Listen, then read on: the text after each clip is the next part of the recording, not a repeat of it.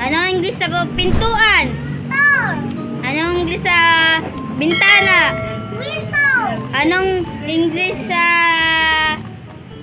sa kama?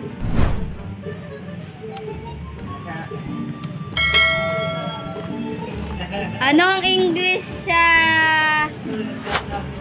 sa bag? Bag. Anong English sa bag? Anong English sa bahay? House. Anong English sa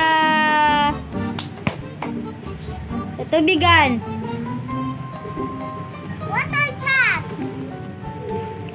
Sabi, anong English sa Tubig. sa sa ra, ano sa rabbit? Ay, mali. Ano ang sa aso? Dito. Ano ang sa pusa?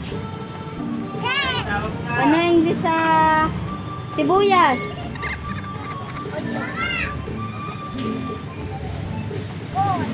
Ano ang sa sibuyas? Ay, sa bawang. Garlic. Garlic.